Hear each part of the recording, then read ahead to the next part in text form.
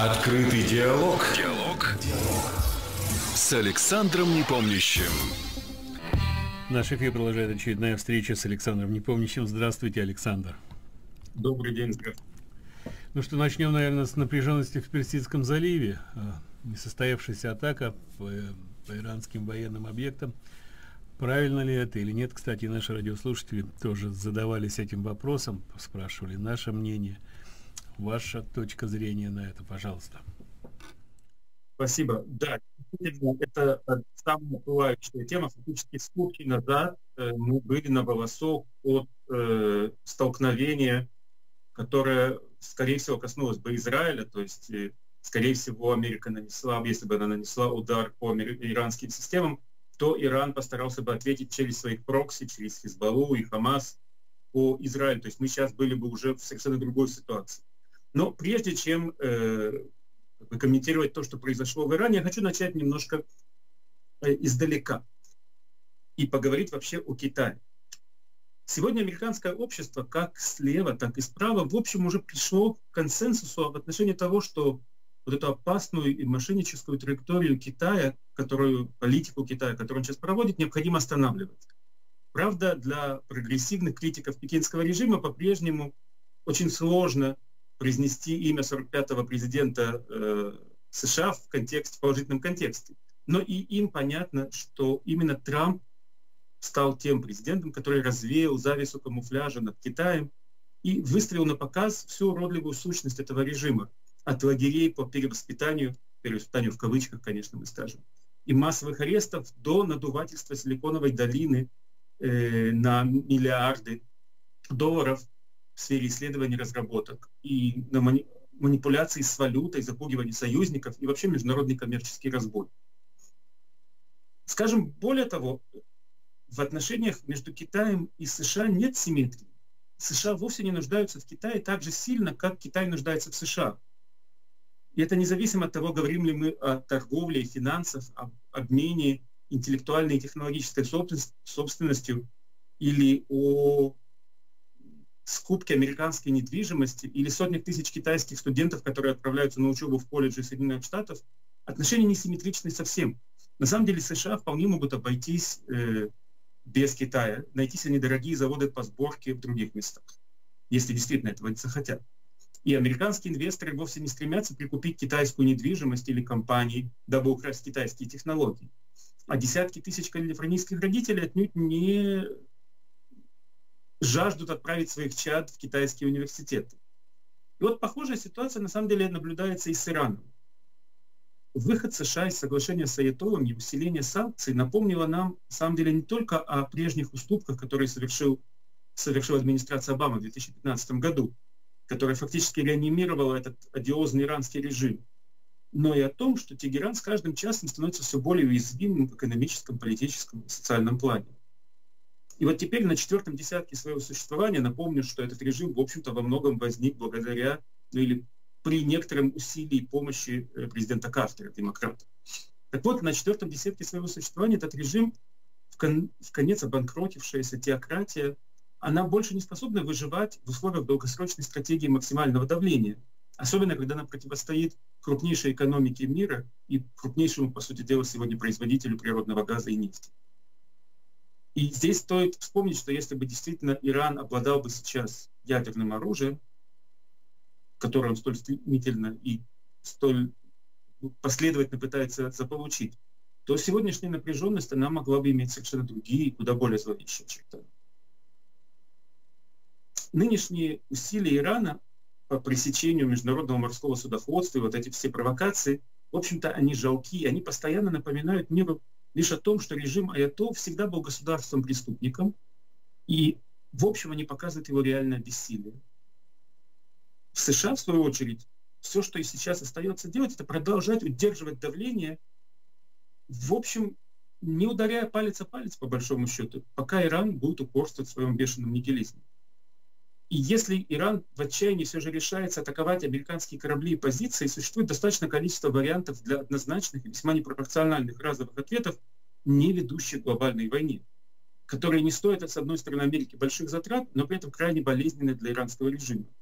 Вся суть тут в том, чтобы, не вступая в большую войну, не спускать иранцам серьезные атаки. Прежде чем мы поговорим об этом более детально, хочу еще заметить, что, в общем, похожая ситуация складывается и в, в, в взаимоотношениях США и Мексики, да и вообще всей Центральной Америки. Ведь там отношения тоже следуют, следуют похожей очень схеме. Потоки мигрантов через американскую границу и цинизм латиноамериканских правительств стали абсолютно прозрачны в условиях нынешнего глобального климата, когда западное общество, уставшее от открытых границ, вынуждено выслушивать циничные и коварные нравоучения от несостоявшихся государств о том, что ему негуманно отказывать в гостеприимстве незаконным мигрантам, которых откровенно поддерживают их собственные коррумпированные правительства. Так вот, э, скажем, возьмем Мексику с учетом 70-миллиардного положительного сальда в торговых отношениях с США и ежегодных финансовых переводов, достигающих 30 миллиардов долларов, большая часть которых перечисляется нелегалами, живущими в США, на государственные пособия, чтобы иметь таким образом возможность отправлять наличные деньги домой. Так вот, Мексика это вовсе не та страна, которая может себе позволить диктовать что-либо американскому обществу. Особенно на фоне своего совершенно откровенного пособничества в нелегальном пересечении границы сотнями мигрантов. И опять же, всего лишь навсего достаточно четко разъяснить Мексике, равно как и всей остальной Латинской Америке, что либо они пересекут эту неприемлемую для США ситуацию, либо их нынешние откровенно односторонние отношения США будут радикально изменены. При этом у США куда больше рычагов давления от налогообложения всех денежных переводов, отправляемых через южную границу, до депортации штрафов, чем у Мексики. Но вот ключевым моментом для разрешения всех этих кризисных ситуаций является очень грамотное и аккуратное сочетание терпения и пресечения попыток спровоцировать США на поспешные действия, в результате которых Америка утратила бы свои нынешние позиции, где она сильна не только в политическом, но и в моральном аспекте. Мы сегодня можем позволить ситуации развиваться, наблюдая за тем, как плохиши, тот же Иран, Китай и, даже Центральная Америка с ее мигрантами все больше впадают в истерику, осознавая, что их блеф раскрыт и систематическая тор торговая агрессия, шпионаж, поддержка террора, подрыв законов США, они больше не приносят им успеха, поскольку потерять на этом пути они могут куда больше, чем приобрести. Но делать, вот это вот, продвигать эту позицию США нужно очень аккуратно. Я напомню, год назад, фактически год назад, в мае 2018 года, администрация США ввела санкции или объявила о том, что она сокращает санкции против Ирана. И было тогда очень много комментаторов, которые смеялись и говорили, ой, да Европа не даст, и Китай, и Индия будут покупать нефть, это все Трамп просто вообще не понимает международной политики, ничего. В реальности мы видели, что Иран продавал 2,5 миллиона баррелей в день, теперь он продает 0,7, 0,7 э, миллиона баррелей э, в день. И это значит, что он фактически потерял все, что у него было в его экономике. А другие санкции, которые были наложены параллельно, они, по сути дела, уничтожили порядка 88% производства э, иранского, которое, так сказать, было. То есть экономика Ирана разрушена полностью. Иранцы надеялись, что они как-то дотянут до американских выборов, а там, глядишь, Трамп уйдет, и, может, ему импичмент сделают, и все как-то опять с демократами у них образуется. Но вот не получается. Они видят, что им не хватит сил, у них не хватит запаса прочности дотянуть до 2020 года даже. А, там, а сейчас совершенно уже непонятно, 2020 год принесет им облегчение или нет, или Трамп э, продолжит э, руководить страной. Поэтому они пытаются спровоцировать ситуацию, вывести вот Америку из той позиции, где она сильна не только политически, но и морально. То есть Америка говорит, вы плохо себя ведете, мы просто не даем вам плохо себя вести. Мы не воюем с вами, не обрушиваем на вас, э, не бомбим вас ковровыми бомбардировками. Мы просто не даем вам плохо себя вести. Давайте говорить, как говорит Трамп. Давайте переговоры. Договоримся по-хорошему. Были нечестные переговоры, была нечестная сделка. Сделаем честную сделку. Понятно, что иранцам это не выгодно. Понятно, что они хотят вывести э, США в позицию, где Америка ввяжется в войну. Чем больше жертв, тем, тем выгоднее. Это ведь та же самая ситуация, как у Израиля с Хамасом для Ирана, чем больше погибнет иранцев от американских бомбардировок, тем иранскому режиму лучше, потому что, с одной стороны, он консолидирует свое собственное общество, типа вот враг у ворот, проклятые американцы бомбят нас, с другой стороны, внутри Америки будет назревать ощущение того, что что ж такое, мы что ж звери, что ли, какие-то простых иранцев, вот нам будут показывать маленьких детей иранских, которые удивительным образом оказались на военных базах, которые бомбардировали американские э, самолеты. Так вот, э, иранцы тоже осторожны на самом деле. Они сами сказали, мы могли сбить, говорят они, самолет с 35 э, людьми на борту, американским, но мы сбили беспилотник. То есть, с одной стороны, вроде как такой укус Америки, с другой стороны, все-таки очень аккуратно. Трамп войны не хочет. И мы это прекрасно понимаем. Он не хочет ни как бизнесмен, который пришел в политику понимает, что война – это последнее средство, и как э, просто человек, который э, понимает, как бы, сколько ответственности берет на себя тот, кто развязывает большую войну, а война здесь маленькой не будет. И он играет своего рода такой вот с Болтоном на пару в доброго полицейского и злого полицейского. То есть Болтон открыто говорит, пора валить режим, пора валить режим. Трамп говорит, давайте переговоры, давайте дадим им еще один шанс, давайте. Я хочу снова напомнить, в свое время Джимми Картер помог свалить Шаха, и он привел к власти Аятолу. Для Ирана это не было хорошо. Это не было хорошо ни для кого в мире, в том числе и для Соединенных Штатов Америки. И вот теперь как бы снова и снова стоит вопрос, что делать с этим режимом, потому что дать этому режиму иранскому возможность жить дальше нельзя. Он стал просто бешено опасен, токсичен, как сейчас стало модно говорить, для всего мира. Но лучше всего, и мы об этом говорили и будем говорить снова и снова, лучше всего, чтобы он был разрушен изнутри. Иран не мононациональное государство. Он как Советский Союз. Там иранцев меньше половины. Остальное народы, которые вообще не хотят жить под гнетом Ирана и вообще не хотят стать иранцев как старшего брата. И поэтому вот это те санкции, которые сейчас продвигают и сохраняет Америка и ужесточает Америка, которые разрушили экономику Ирана и вынуждают, отжимают Иран, иранский режим фактически в защиту, ведет к отчаянным действиям, это самый действенный способ заставить общество иранское начать бороться. Конечно, тут можно им помочь. Как можно помочь? В первую очередь, помочь создать правительство в изгнании. Правительство в изгнании, состоящее из иранских диссидентов, которые войдут, может быть, даже представители национальных меньшинств, те самые, которые, которые вообще хотят отделиться, но, может быть, на первом этапе они создадут какое-то общее. Может быть, туда там как-то появится даже наследник Шаха, который все еще жив и признать это правительство, как, э, как признали оппозиционное правительство в Венесуэле. Дать возможность иранскому народу увидеть, что, в общем, не нарратив их режима о том, что враг у ворот, американцы хотят съесть всех иранцев, а то, что Иран помогает иранскому народу освободить себя от аятол. И поэтому, конечно, вчера э, мы были очень близки к тому, чтобы пойти по нарративу, выбранному иранцами. То есть иранцы провоцируют, Америка ударяет, погибает, как сказал Трамп, 150 э, иранцев от э, американского ответного удара. Иран, возможно, так пинает, и та ударяет по Израилю, Израиль ударяет по Хизбалле, начинается большой бенд на Ближнем Востоке, и иранский режим укрепляет свое положение, консолидируя общество. Трамп этой ситуации не дал развиться в этом направлении, он обыграл их, переиграл. На мой взгляд, конечно, здесь они очень, э, очень связаны близко сейчас Натаньяу.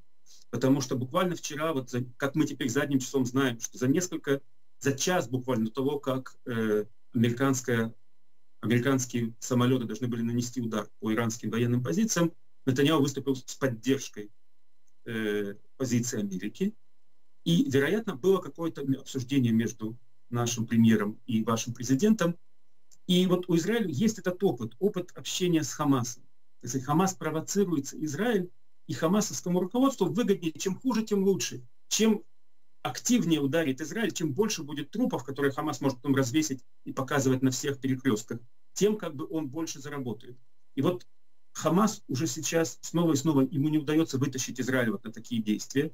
Израиль сдерживает Хамас с одной стороны, ослабляет его, держит его в постоянно ослабленном состоянии, не давая обществу внутри там взорваться, пересылайте деньги, но подконтрольные деньги. С другой стороны, вместе с Америкой заставили Египет кажд... пропускать э, из Газа беженцев, и каждый месяц из Газа бежит порядка 10 тысяч. Мало, но все-таки хоть что-то есть. Таким образом, ослабляя Хамас и выпуская потихонечку вот это вот напряжение из э, этого аппендикса Газа. И точно такая же политика, на мой взгляд, должна быть и у США.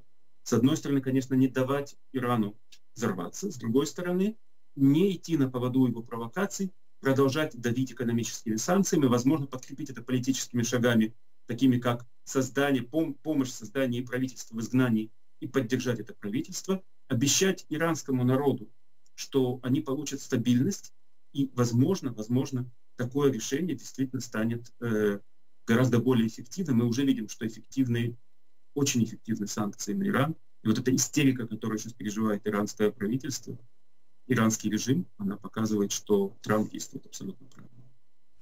Спасибо. Ну а теперь несколько слов о новом населенном пункте на Голанах.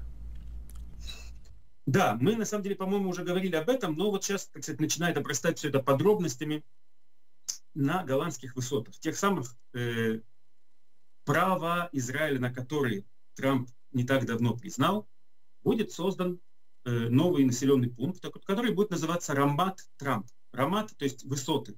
Трамповые высоты, трамповые высоты, скажем так.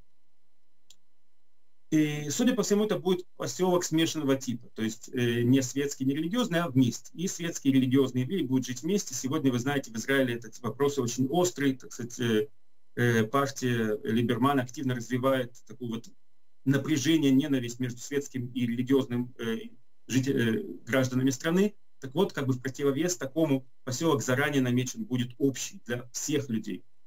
Вообще, э, конечно, сейчас с признанием Америки э, на голландских высотах начинается фактически революция. Что это значит? На самом деле понятно, что признание Америки это всего лишь признание Америки, но это означает, что американские инвестиции теперь могут спокойно идти на голландские высоты. Раньше нет. Раньше это была как бы территория спорная, и американский бизнесмен, э, как бы влезая в спорную территорию, в общем, нарушал американские законы или как бы не одобрялся американскими законами. И теперь признание президента, ты можешь инвестировать туда так же, как ты инвестируешь в любую другую часть Израиля значит, будут инвестиции из Америки, значит, и другие подтянутся, потому что там, где американские деньги, там сразу начинает двигаться много энергии, много всего. И, в общем, у правительства план э, такой, чтобы э, на голландских высотах население евреев увеличилось в 10 раз и достигло четверти миллиона человек. Вроде бы даже есть сейчас планы проведения туда железнодорожной линии, что, конечно, полностью изменит всю карту, фактически привяжет голландские высоты к северу и к центру страны. Ну и, в общем, как бы, если уж мы говорим о населенных пунктах в Израиле, названных в честь американских президентов, стоит вспомнить, что Рамат Трамп это будет уже не первый населенный пункт в Израиле, названный в честь американских президентов. У нас есть, например, Кфар Трумен, деревня Трумен. Она была э, так названа в 1949 году. И это было, конечно, дань э, уважения и признания американскому президенту, который помог э, провозглашению независимости государства Израиль в, и решению э, Генеральной Ассамблеи ООН. Есть у нас, например, э, поселок, который называется Таль-Шахар. Скажите, Таль-Шахар, какая связь с американскими политическими деятелями? А вот на самом деле он назван в честь Генри Моргентау. Генри Моргентау, я напомню, это был министр финансов э, как раз вот в, в то время, первый еврей на этом посту. И э, так сказать, если вольно перевести, скажем, его имя, э, э, евреизировать его, то получится вот из Генри Моргентау получается Таль-Шахар. В честь него, и, так сказать, это известный факт, что поселение Таль-Шахар названо в честь Генри Моргентау. Вот. Есть поселок Лемон, который назван в честь Герберта Генри Лемона, который был губернатором штата Нью-Йорк и гендиректором ЮНРА. ЮНРА не путать с УНРАй. Это было агентство по э, как бы, обеспечению всех тех беженцев, которые возникли после Второй мировой войны, кроме палестинских беженцев. И это как раз ЮНРА, она со своей задачей справилась, потому что, в общем, все многочисленные миллионы беженцев, которые возникли после Второй мировой войны, они, в общем, в итоге все нашли себе какое-то место. Вот. Ну и, наконец, город Нетания, которая на самом деле изначально была Натания, и которая была названа в честь Натана Штрауса, э, еврея, э, богатого еврейского мецената, Э, мы знаем о его брате, который погиб на Титанике, да, и даже, так сказать, он и его жена увековечены в фильме «Титаник».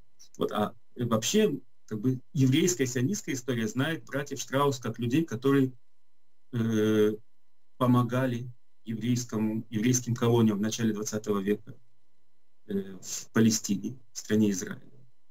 И, в общем, с Натаном Штраусом и городом Нетани произошла, произошла довольно забавная история – я расскажу, но здесь и мы сделаем перерыв.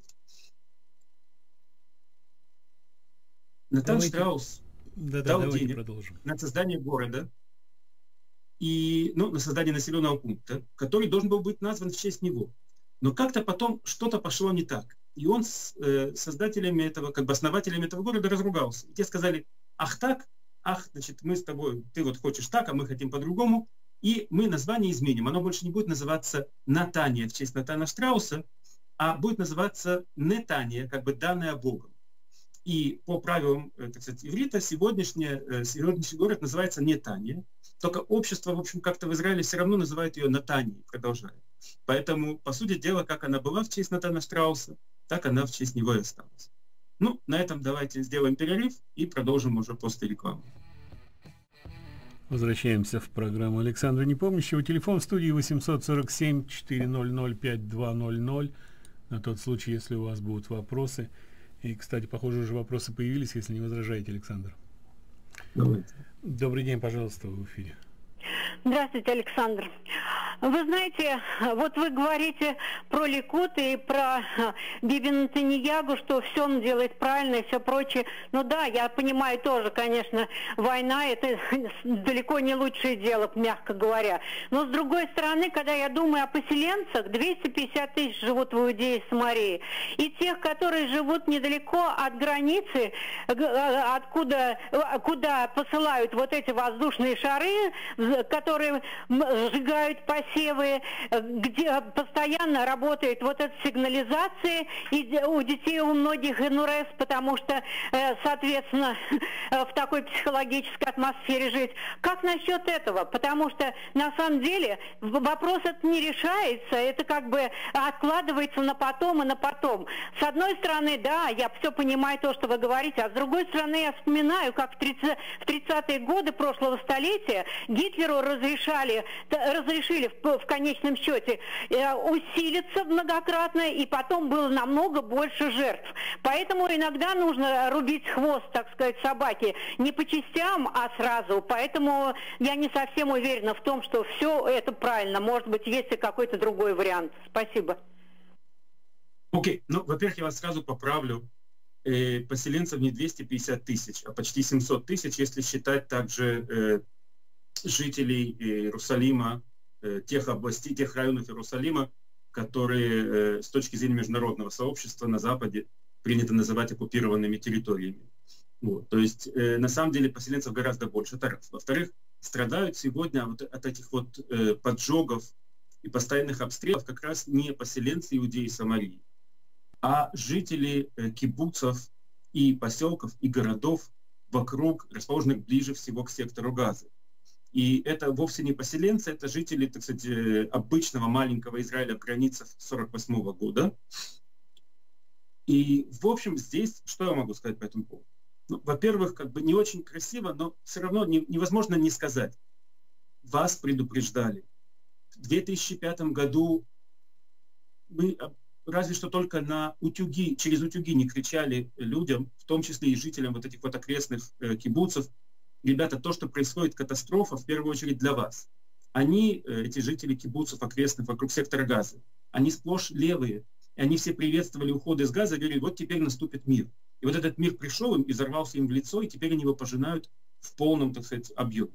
Но понятно, что это не аргумент. То есть было, они допустили ошибку, они, кстати, до сих пор не осознают эту ошибку, и было бы их возможность, кстати, они бы сейчас делали мир, только не с кем делать мир. Они пытаются делать мир, но их пытаются за это, так сказать, убивать. Проблема в том, что можно сделать. Мы об этом много раз говорили, я повторю еще раз коротко. Неправда, что ничего не делается. То есть Израиль, э, точнее правительство Израиля, приняло тактику, мы не уничтожаем Хамас, потому что мы не видим смысла в уничтожении Хамаса сейчас, поскольку э, наличие Хамаса, противостоящего Фатху в Рамале, ослабляет наших врагов лишает их возможности говорить о необходимости Израилю отступить и создать им государство, потому что их сейчас два анклава, воюющих друг с другом, ненавидящих друг друга, с которыми между собой не могут договориться. Так о чем уже говорить нам с ним? Это во-первых. С другой стороны, конечно, за все вот эти вот акции агрессии Израиль их постоянно э, прижимает и прижучивает. Например, посылают они шары зажигательные поджигать наши поля, их, э, им сокращают рыболовную зону, иногда просто закрывают. Рыболовная зона – это для них единственный фактически сегодня способ пропитания. То есть они четко знают, напакостили, получат по голове и не смогут добывать свою рыбу, не смогут есть, будут голодать. С другой стороны, наша задача, опять же, решить эту проблему не то, что мы придем на поддаем Хамасу, мы не можем там сегодня остаться. Не потому, что у нас нет сил на это, а потому что общество в Израиле не готово, не готово к реоккупации Газы, к тому, чтобы мы туда вернулись и созда... как бы развернули там свой суверенитет. Значит, мы туда придем, мы положим там своих солдат, мы повоюем, все международное сообщество будет кричать на нас, что мы убийцы и, и кровопийцы, а потом мы снова оттуда выйдем, Хамас вылезет из бункеров, отряхнется, и снова все начнется как было. Зачем нам такая ситуация? Нет. То, что сейчас делает правительство, с одной стороны, сдерживает Хамас и ослабляет его постоянно. Каждый удар, который Израиль наносит, да, не убивают боевиков Хамаса, но уничтожают инфраструктуру, разрушают, они строят завод по производству ракет, этот завод уничтожают. У них есть склад по производству с ракетами готовыми, этот склад уничтожают. Каждый раз становится у них меньше и меньше запасов. Каждый раз они что-то насобирали, им уничтожили. И с другой стороны, вся эта ситуация очень сильно осложняет жизнь простых, так сказать, граждан, обычных жителей Газа. И они ищут способы бежать оттуда. Сейчас, когда Египет открыл шлюзы, как я уже сказал, 10 тысяч каждый месяц оттуда сбегает сбегает и растворяется где-то на, на планете. Для нас, конечно, нам было бы лучше, чтобы убегало каждый месяц по 100 тысяч. Но это то, что пока есть. Такая политика, как принял сейчас Израиль, не идеальна, но с другой стороны, я не, могу, не вижу сегодня других более разумных и более удачных решений. А то, что при этом, конечно же, жителям вокруг Газы не просто Тогда непросто. В Израиле вообще не просто жить, и везде непросто. Сейчас, так сказать, на них выпала основная тягота, основные тяготы нашего противостояния окружению гублинскому. Ну, что поделаешь. В конце концов, такая ситуация, и во многом они сами виноваты, потому что именно они приветствовали в свое время уход Израиля из сектора Газа. Давайте примем еще звонок. Пожалуйста, в эфире. Слушаем Алло? вас. Да. Вы знаете, я бы хотела продолжить. А, ну да, я, я все это понимаю, но с другой стороны, почему нельзя возобновить вот эти, эти точечные ликвидации? Почему Натаньягу так себя непоследовательно ведет? То он, значит, говорит, что не будем переводить деньги э, террористам, э, будем делать то-то и то-то, закрывает переходы и, и отменяет через несколько дней. И все прекрасно знают, что все это несерьезно. И с той стороны, и с этой стороны. Поэтому и вот с одной стороны Ликут, в общем-то, правые партии и действительно экономическое благосостояние, а, а с другой стороны многие не верят ему. Вот именно поэтому. Потому что, как они говорят, пластилиновый э, Натаньягу. Спасибо. Окей, okay, ну, Натаньяу отнюдь не пластилиновый. И то, что вы говорите, как бы это очень упрощенная схема. Дело в том, что э, действительно Израиль не использует сейчас точечные ликвидации. И это связано с тем, что Египет говорит, что если Израиль начнет точечно ликвидировать Хамас, он тут же захлопнет шлюзы. И мы должны выбирать, что нам сейчас важнее. Чтобы каждый месяц 10 тысяч э, жителей Газы от, из Газы убегало и уходило, или чтобы мы уничтожили двух, трех, пятерых э, боевиков Хамаса под гиканье улюлюканье всего мира, которые сразу же обвинит Израиль в геноциде. Нынешнее правительство считает, что лучше так, лучше не убивать их сейчас точечными ликвидациями и давать возможность сказать, выдавливать потихонечку население Газы, потому что на самом деле, давайте назовем вещи своими именами. Ситуация в будущем очень простая. Либо в Газе останутся арабы, либо евреи останутся в Негеве. Не будет того и другого. То есть либо мы изгоним арабов из Газы, либо арабы изгонят из Негева, а это две трети фактически э, с, с территории Израиля, евреи. Поэтому нам нужно смотреть не то, что сейчас нам удобно, а то, что нам выгодно в дальней, в дальней перспективе. И Натаньяу отнюдь не, не делает ничего. Переводы денег раньше были бесконтрольные. Сейчас эти деньги приходят в Газу таким образом, что они распределяются под контролем, и они распределяются конкретно на гуманитарные нужды, то есть на то, чтобы семьи в Газе, которые лишены работы, поскольку работы там вот кроме рыболовства, по сути дела, нет, чтобы они получали вот эти пособия из Катара и на них покупали еду, которую завозят из Израиля. Вот. Э, и эти, так сказать, это вещи, когда они начинают наглеть, эта штука закрывается, это сразу становится очень больно в обществе газ, газовском. Хамас тут же, так сказать, первый идет и говорит, все-все-все, успокойтесь, давайте продолжим передачу денег. То есть э, рассматривать политику израильскую сейчас как пластилиновую, на мой взгляд, совершенно неверно. Она действительно не, так сказать, не очевидная и непростая. Она включает в себя много параметров, которых э, в обычных новостных блоках часто и не говорят. Но, тем не менее, на сегодняшний момент я думаю, что она оптимальна при всех своих минусах. И действительно, э, Натаньяу мог бы совершить несколько популистских шагов и заработать массу очков. Он предпочитает делать то, что, на его взгляд, и на мой взгляд тоже, кстати, выгодно для страны, и да, портит ему репутацию, потому что для большинства людей, которые не вникают в тонкости, в нюансы этого, этого, этой проблемы, он кажется пластилиновым, нерешительным, э, недальновидным. Все, на мой взгляд, совершенно ровно наоборот. Давайте попробуем принять еще звонок. Добрый день, пожалуйста, в эфире. Здравствуйте. Уважаемый Александр, вы сказали, что у Америки множество способов ответить агрессивному Ирану и в то же время не втягиваться в военные действия. А не могли бы вы как бы рассказать об этом ну, подробнее, назвать несколько, несколько способов хотя бы, если это, конечно, не секрет, потому что нас, как вы понимаете, враги тоже слушают. Спасибо большое. Ну, я вам честно могу сказать, что я ведь не вхожу в э, совет Пентагона, поэтому все, что я скажу, это, кстати, это будут мои личные оценки, и уж точно никаких американских тайн не выдам, потому что я их просто не знаю. Одну из вещей я, кстати, назвал – и это политическая вещь. США могут, и, возможно, такие, э, такая работа уже ведется, способствовать созданию иранского правительства в изгнании. Иранского правительства легитимного в глазах иранского народа. Я уже сказал, оно будет включать в себя разных представителей разной оппозиции, потому что Иран очень большая, очень сложная страна. И там в оппозиции к иранскому режиму есть самые разные персонажи. От фундаментальных мусульман до радикальных либералов. И э, совсем не просто как бы их вместе объединить, создав такое коалиционное правительство, которое для большинства жителей Ирана будет выглядеть действительно привлекательным. И с одной стороны создать такое правительство, с другой стороны дать ему полномочия какие-то, то есть признать его и дать ему легитимацию мировую. С третьей стороны помочь ему убедить иранский народ, что вот это самое правительство принесет стабильность, помощь Америке. Это шаги, которые не являются военными не прилететь, дать по голове и улететь. Но они для иранского режима могут оказаться куда более болезненными, чем потерять 150 солдат. Иранский режим, как любой диктаторский режим, он своих солдат не считает. Женщины снова нарожают, да? Вот, 150, тысяча солдат, им не жалко. Наоборот, чем больше крови, тем лучше.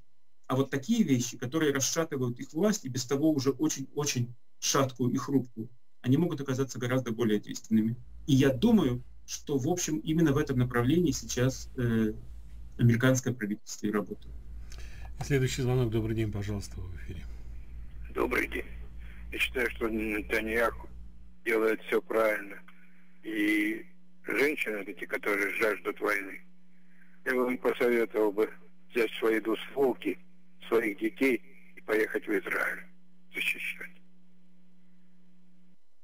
Это не было ну, вопросом, это было такое... Да, я, я тоже считаю, что Натаньяу все делает сейчас правильно, хотя, конечно же, мы должны критиковать его и добиваться более решительных э, действий в разных вопросах, но, опять же, понимать все ограниченность э, степени свободы, которые мы имеем. Давайте попробуем принять еще один звонок. Добрый день, пожалуйста. Алло. Да, пожалуйста. Добрый день. А, можно говорить? Да, пожалуйста. А, а, это в общем-то, замечание к Александру. А, вот эта тактика, при которой а, Израиль а, а, а, все время ну, имеет дело с Хамасом, то есть они получают деньги, скажем, потом начинают строить там какие-то склады, Израиль их бомбит, и потом снова начинается все сначала на другие деньги. Так? Вместе с тем они еще что-нибудь делают вредное для Израиля. Я вообще не понимаю этой тактики. Почему, например, нельзя зайти в эту газу, выгнать из всех Тунис а, обычным жителям, предложить компенсацию, они и так оттуда удирают, и они все оттуда идут. И газа, в общем-то, будет э, под израильским, э, ну, под израильским руководством вообще. Пожалуйста. Ну, одно единственное, э, то есть вы все правильно говорите, проблема осталась за малым, уговорить Ротшильда, как в известном анекдоте, убедить израильское общество что это единственный правильный вариант. Сегодня израильское общество на это не готово. Поэтому, да, взбешенная очередной ракетной атакой, израильское общество может одобрить войну, то есть военные действия против сектора Газы. Израильская армия, конечно же, за несколько часов войдет в сектор Газы и э, перебьет там хамасников. Но затем общество скажет, все, уходим, мы не хотим там оставаться, мы не хотим править другим народом, мы не хотим оккупации, новой оккупации Газы. И убедить вот это самое общество, что на самом деле мы так проблему не решим, что если мы там не остаемся, не, не изгоняем оттуда арабов, то все вернется на круги своя, невозможно. И поэтому Натаньял, опять же, я говорю, он делает вещи непопулярные для себя, но разумные и правильные для общества. Он говорит, если мы сегодня не готовы вернуть это все в свои руки, так мы не будем вообще туда лезть и э, так сказать, рисковать жизнями молодых солдат для того, чтобы потом выйти и снова, чтобы все началось то же самое. Мы будем давить снаружи, сдерживать удары, которые они по нам наносят, и добиваться того, чтобы Газа ослабла демократически настолько, чтобы потом можно было бы уже рассматривать и другие варианты тоже. И, конечно, я абсолютно с вами согласен. В итоге только э, помощь в переселении жителей сектора Газы и э, уже опустевшую территорию, распространению на нее израильского суверенитета. Других вариантов долгосрочных просто не существует. Добрый день, пожалуйста. Извините, пожалуйста, я просто продолжу. Э, Александр, вы немножко отошли от того направления, которое, о котором я говорил. Если все хамасовские будут выгнаны в Тунис, а обычные жители получат компенсацию и уйдут оттуда, то сектор газа будет израильский. Вот и все. Ну, видите, снова и э, это ведь требует, во-первых, арабы все-таки не, э, не все готовы продаться за деньги. Это, это долгий, долгий разговор. Это долгая история. Это требуются большие деньги. Эти деньги нужно где-то найти. Потом, что такое всех хамасовцев? Вы думаете, так легко отделить э, жителей, так сказать, э, простых мирных от боевиков Хамаса в обществе, тем более арабском, которое не общество индивидуальных как бы, семей, как в Америке, а общество клановое, хамулы, семьи, кланы, то есть у вас есть представитель Хамаса, который, так сказать, чиновник, и весь клан фактически его поддерживает. Вы его убьете, вы его уничтожите. Кроме того, что у него там есть семья, четыре жены, 30 детей, у него же есть еще, так сказать, все его дяди и, и братья, и сестры. И они тоже, в какой степени они э, не комбан, э, так сказать, не военные, не боевики Хамаса, а просто мирные жители. Это все непросто. И вот такие вот, э, поэтому быстро и легко это, это, это э, так сказать, ваше решение не имплементировать в жизни. Это нужно зайти туда, остаться надолго, эту зачистку продолжать на протяжении лет и э, выселение тоже продолжать на протяжении лет, потому что быстро это все не получится сделать. А это значит, что в обществе израильском должен быть консенсус против давления, которое начнет оказывать него весь прогрессивный мир, и э, должны быть подготовлены соответствующие фонды, которые будут эти деньги выдавать. Короче говоря, правильное решение, но вот осуществить его прямо сейчас я не вижу, каким образом можно. Ну и еще тогда одна тема, я не знаю, у нас остается буквально пять минут времени. А, я не знаю, в палестинской автономии живут христиане или нет, существуют ли проблемы, связанные с пребыванием в палестинской автономии христиан, и если да, то почему об этом ничего не слышно, не видно, никто не пишет, не рассказывает? Ну да, Сергей, это, это очень, на самом деле, очень болезненная тема, заметим, что фактически, что такое палестинская автономия? Это Иудея и Самария. Это то, э, то место, где, по сути дела, христианство и зародилось, где э, все, так сказать, э, события библейские происходили. И, разумеется, там были христиане. И более того, часто их было большинство. В свое время в городе Вифлееме христиане были большинством. К сожалению, с тех пор, как была создана палестинская автономия, и в 2000, по-моему, 99 году Вифлеем был передан палестинской администрации, то есть власти Хам, э, Фатха, э, ситуация очень э, сильно изменилась. И, по сути дела, сегодня э, христиане... Кто такие христиане в палестинской автономии? В большинстве своем это арабы или арабизированные греки, или арабизированные другие, так сказать, э, э представители каких-то народов христиане, которые, были, которые там живут. И, э, в общем, с ними происходит то же самое, что происходит в большинстве э, мест мира, где мусульмане являются большинством, а христиане меньшинством. То есть их преследуют, унижают, регулярно грабят и сжигают церкви, регулярно подвергают гонениями. Тех мусульман, которые осмелились перейти в христианство, они просто, так сказать, это опасно для их жизни, они должны либо скрывать свой, свой переход, либо бежать куда-то.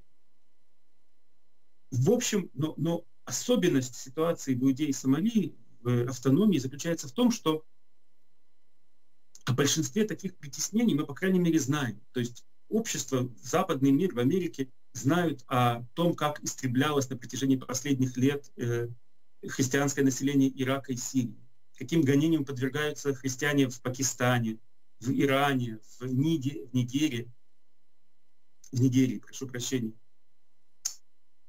А что происходит в автономии? Молчок.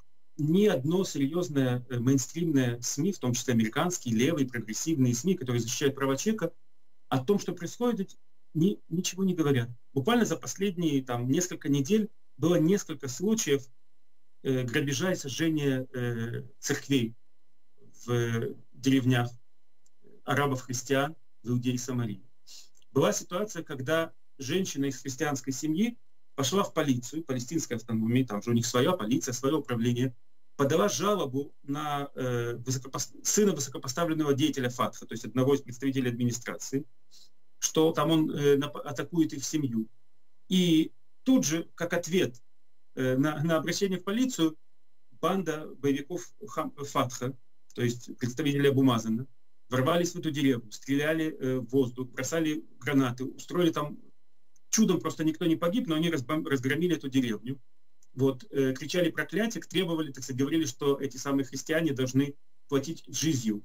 Джизья – это такой специальный подушный налог, который христианское меньшинство платило, так сказать, в странах э, под, под властью мусульман. И вот совсем недавно еще, например, эта джизья была распространена ИГИЛом, исламским государством, на остатки христиан Ирака, например.